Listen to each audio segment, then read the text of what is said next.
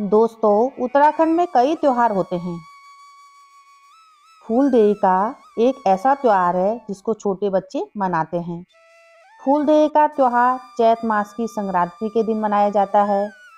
इस दिन छोटे बच्चे सुबह उठकर, नहा धोकर एक थाली में चावल और फूल रखते हैं। और घर घर जाकर फूलों को देहली में डालते हैं और नए साल की बधाई देते हैं। बच्चे गीत भी गाते हैं और आशीर्वाद देते हैं।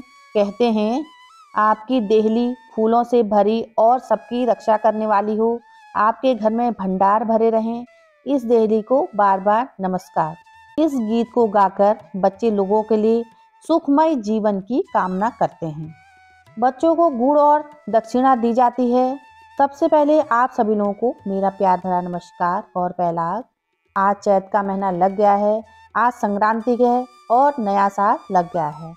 आप सभी को नए साल की बहुत बहुत बधाई। आज मैं आपके लिए एक कहानी लाई हूँ, फूल देई का त्यौहार क्यों मनाया जाता है। कहानी सुनने से पहले चैनल को सब्सक्राइब करें, लाइक करें और अधिक से अधिक शेयर करें। कुमाऊं की संस्कृति को बचाने का प्रयास करें। एक राजा था और एक रानी थी। उनकी एक बेटी थी। राजा रानी की एक बेटी थी। इसके अलावा उनकी कोई भी संतान नहीं थी। राजा को उनके दरबारी और रानी ने दूसरी शादी करने को कहा। उन लोगों ने राजा से कहा, यदि आप दूसरी शादी करेंगे तो आपको बेटा हो जाएगा, जो आपका राज्य संभालेगा। लेकिन राजा ने साफ़ मना कर दिया। राजा ने कहा मुझे अपनी बेटी पर पूरा विश्वास है। वही मेरा राज्य संभालेगी। राजकुमारी बहुत सुंदर थी। वह सुंदरता की मूर्ति थी। साथ में राजकुमारी प्रकृति प्रेमी भी थी। उसे पेड़ पौधे पशु पक्षी बहुत ही अच्छे लगते थे। पूरे दिन वह बगीचे में रहती थी, अपनी सहेलियों के साथ खेलती रहती थी और पशु पक्षियों का गीत सुनती रहती थी और उनसे बातें करती रहती थी। अपनी सहेलियों के साथ मस्त रहती थी। एक समय की बात है, जब राजकुमारी अपनी सहेलियों के साथ बगीचे में खेल रही थी तो अचानक बगीचे में गंदी बदबू आने लगी। राजकुमारी ने अपनी सहेलियों से कहा, मुझे बहुत गंदी बदबू आ रही है, मुझे चक्कर आ रहे हैं, ऐसा कहकर राजकुमारी बेहोश हो गई। जब राजा को पता लगा राजकुमारी बेहोश हो गई है तो राजा दौड़ा दौड़ा बगीचे में आया। उसने राजकुमारी को होश में लाने का प्रयास किया लेकिन राजकुमारी होश में नहीं आई। उसके बाद राज्य में कई वैद्य बुलाए, लेकिन सब असफल रहे, लेकिन राजकुमारी को होश नहीं आई। दो तीन सप्ताह बीत गए, लेकिन राजकुमारी को होश नहीं आया। रानी ने राजा से कहा, कुछ करो जिससे राजकुमारी होश में आ जाए, नहीं तो हम इस राज्य का क्या करेंगे? और रानी रोने लग गई।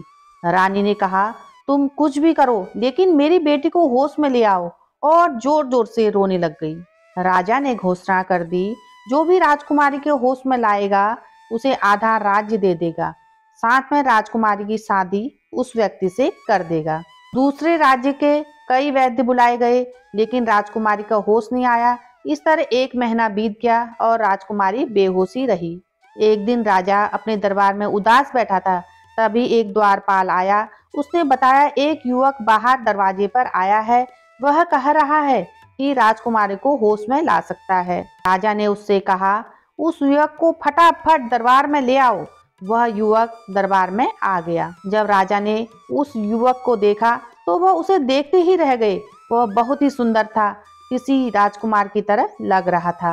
राजा ने उस युवक से पूछा, क्या तुम राजकुमारी को होश में ला सकते हो? तब युवक ने कहा हाँ मैं होश में ला सकता हूँ।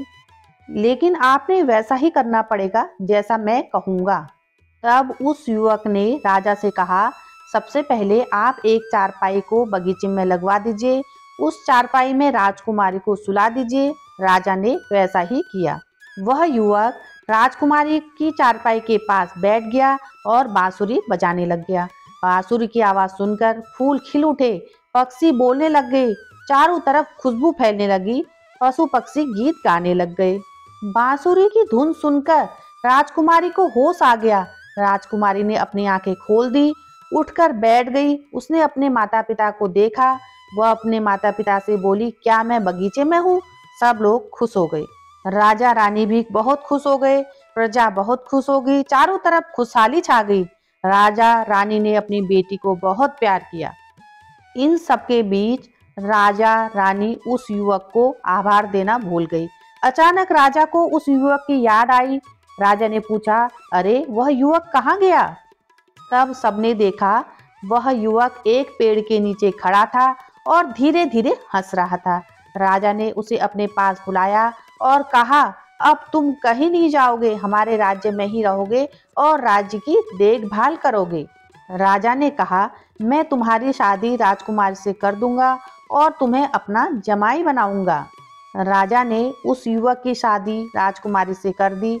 चारों ओर खुशहाली छा गई कहते हैं, जिस दिन राजकुमारी की शादी थी, उस दिन संक्रांति थी। राजा ने यह घोषणा कर दी, सब लोग संक्रांति के दिन अपनी देली में फूल डालेंगे और चावल डालेंगे, देहली को फूलों से सजाएँगे। इस दिन से उत्तराखंड में फूल देही का त्योहार मनाए जाने लग गया। और लोग बड़ी खुशी खुशी इस दिन से नया साल मनाने लगे और सभी को आपस में बधाई देने लगे। इसी दिन से उत्तराखंड में फूलदेव का त्योहार मनाया जाता है, यानी नए साल मनाया जाता है। अब मैं अपना वीडियो यहीं पर समाप्त करने वाली हूँ। अगली वीडियो में एक नई जानकारी लेकर आऊँगी। तब तक के लिए नमस्कार। पहला चैनल को सब्सक्राइब कीजिए और अधिक से अधिक शेयर कीजिए।